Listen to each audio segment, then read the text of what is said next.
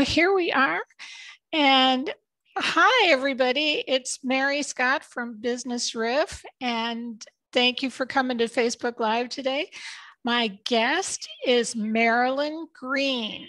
She is a grant reader and a grant writer.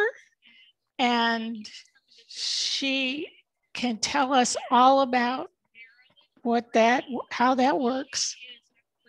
So Marilyn, do you want to um, give me a tell us the name of your company and what's your background? Sure. Thank you so much, first and foremost, Mary, for uh, having me. I appreciate it. You know, Zoom is our life. You know, at, at, at one point you just zoomed out. You know, that's a that's a whole different seminar, a whole different webinar at this point. How to stop the zoom out. Uh, but anyway, my name is Marilyn Green, as Mary said, and I am the president and CEO of JFY Consulting.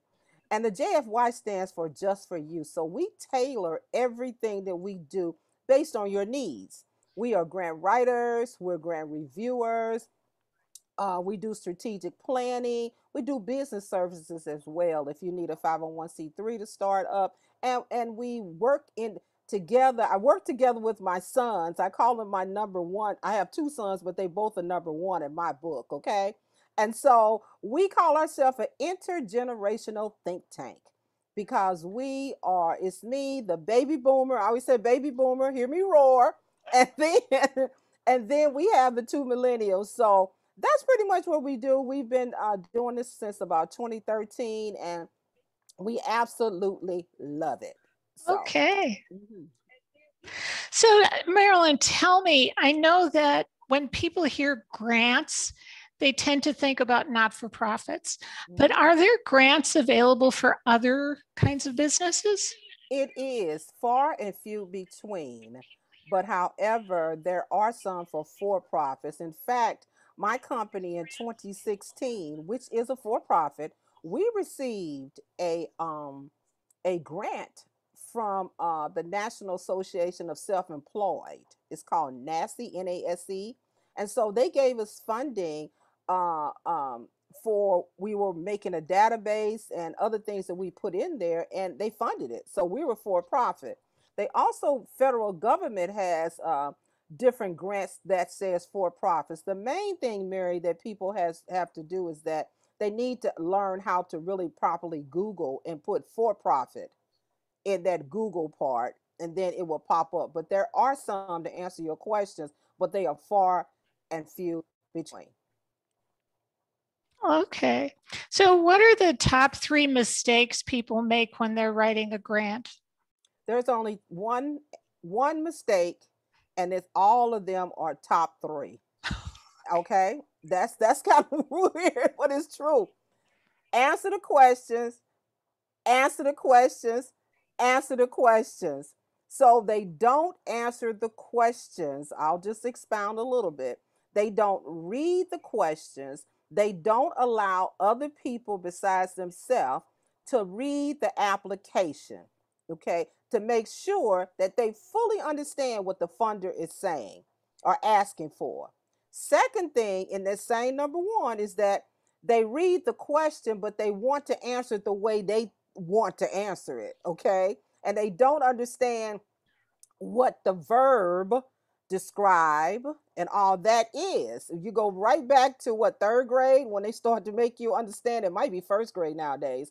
But that word right there is the moving force or the train of how you need to do what you need to do. So that's pretty much the, the biggest one I would say, Mary, that it would take the one, two, three, probably top 10 of what they don't do. They don't actually read. They don't get a grant team together and let me look at it, let you look at it, let other people who are doing different things within the um, company, let them look at it because they're gonna they're gonna look at it differently. So that's pretty much my answer. Just they don't read the questions. Okay, that's really great advice. Um, what would you recommend would be the optimum time frame for applying for a grant? Well, the op- when you said optimum time frame, I'm thinking about how much year? lead time should people oh. use before the deadline for a grant. Okay, let's go back to that other question you just asked me as far as the top three. There's another one, okay? It's that they don't spend enough time doing it. They see it um, uh, one day, one week, and they think they could just jump up and do it. No, it takes a good six months to actually do a really super great um, competitive grant proposal. And within that time, certain sections would take more time than others. So I would say six months, and it could be shorter if you would uh if you do some things as well. So it could be shorter, but I would just say six months. Mhm. Okay. Are there um, particular, is, are there any websites that list a lot of grants that are available? Are there organizations that help people find them? It is. There's it's a really simple one that I like to recommend to my uh to my students when I'm teaching a grant writing class or to my clients. It's called Grants Gopher. G R A N T Gopher. G girl, O P H E R. That's the one that's free and they have actually local and regional grant proposals. Federally, you can go to grants.gov, which everybody knows about, and you need to check out the state, whatever state you're in, check that out. And you also can go to foundations, Kiwanis clubs, Elks clubs, you know, just don't think because they're small and and and they might give you a small amount. You need to go there anyway. It'll help you sharpen your skills of grant writing and grant grant writing and getting the funding is just like um how would they say a, a credit report. So if you start off and get 500, that's a good thing because sometimes funders ask you, have you got any funds before? And so you can put that down. So yeah, there Right. are places. So if you've already gotten some grants, does it give you more credibility for the future to be able to get them? It does. It does. It depends on what the answers, the questions are on the uh, application. They may ask, "Have you had funding before?" That's where you need to list it. They also may ask on the federal level. They'll ask you, "What other funding are you getting?" Period. You know, your annual annual budget, your operating budget. They may ask it. So yeah, it's a good thing. And no matter, I just Mm. want to say, Mary, it doesn't matter how small. I'll reiterate that. It doesn't matter how small, but just go for it anyway, you know, because it's nothing like that feeling of woohoo, we got it, you know. So I would say go for it no matter what. So Hey, yeah. I was on the board of a theatrical uh, production company, and when they got a $500 grant, they were thrilled. Yes, yes, because it's competitive. it is, very it is. competitive at the 200, 300, 400. It is competitive. Yeah, So, yeah, exactly. Just celebrate it. So tell me a little bit about JFY. Um, Okay. What's what's your process? What kind of clients are you looking for? okay the clients that i'm looking for first of all to to deal with one arm which is the business services i'm looking for the person who says hey i got a dream i got some passion i got some compassion i'm looking for that person because you're ready to start the journey to help the community that's what we do in business services i love to have startups and then after i finish i, I liken it unto a child mary as I grow them up so far. I take them to the 12th grade, okay? And when they're 18, and then I kind of drop them off at somebody else's home, if you will. And what I do is that I, I I have a friend of mine who loves them after they get 18 years old. Okay, so I kind of like that person who wants to do that. And the Mhm. strategic planning, I like the person who is saying that they may want to start up something again, but they don't have a strategic plan. So Mm. so again, it's the baby, but I have to help them with that strategic plan as well. As far as grant writing and grant review, we take all, you know, and we really kind of specialize in uh, human services, you know, domestic violence, at Mm. risk kids, uh, substance abuse, things of that nature. That's pretty much what we like to do, or I like to do. Or then it is my son who does it as well, and he's Mm. the education person, so he likes the Right. education piece. So. Right.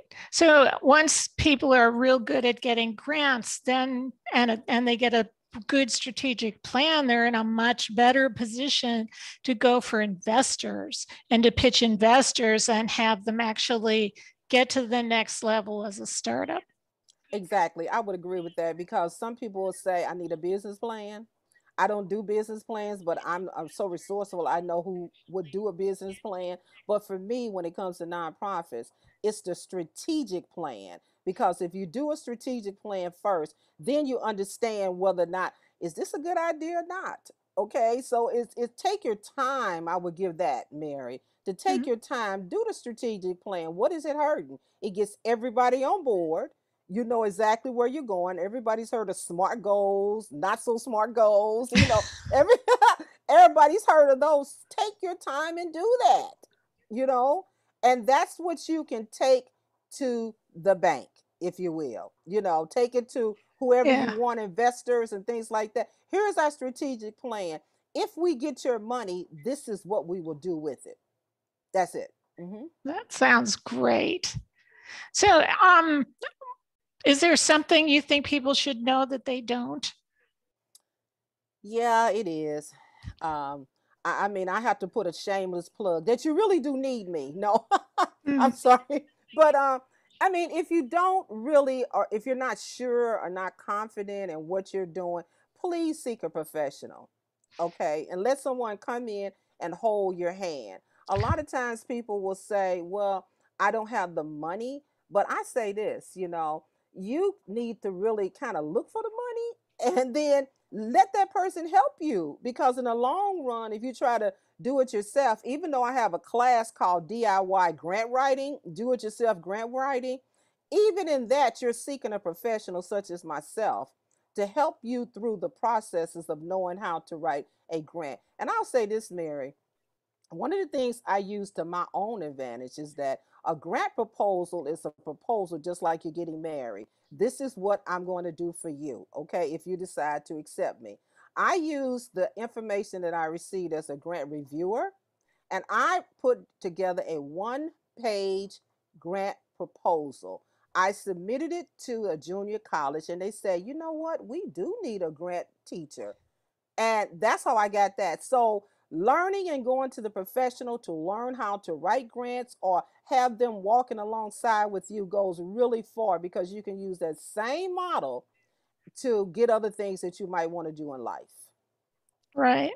And particularly for startups, this is something that um, I say all the time, and that is you have to spend money to make money. You have to invest in yourself. And if you don't have skin in the game, if you don't have some of your own money involved in your business, hmm why should anybody else? Exactly. Um, Exactly. you need to be passionate enough to actually write the checks because whether it's to a college program or a workshop or a consultant, it's tuition and it's an investment in your business. And you're going to make it back. You have to believe that you're going to make it back. Exactly. and I, you know, and I want to expound on that a little bit more. So, for example, if a class is costing a certain amount of money, if you really get in there and do your due diligence and stuff, the amount of money, the exponential growth or the return on your investment will be amazing. Okay, so if a class, if a class costs as much as a thousand dollars to take it, by the time you finish it and get it all together, then what you're going to get from that is is worth really more than that. Now, I can say this, not all classes are the same, you know, and I have to do a shameless plug again. Once you come to my class, I never let you go, okay? I'm I, I'm not I'm not stalking you. It's a soft stalking.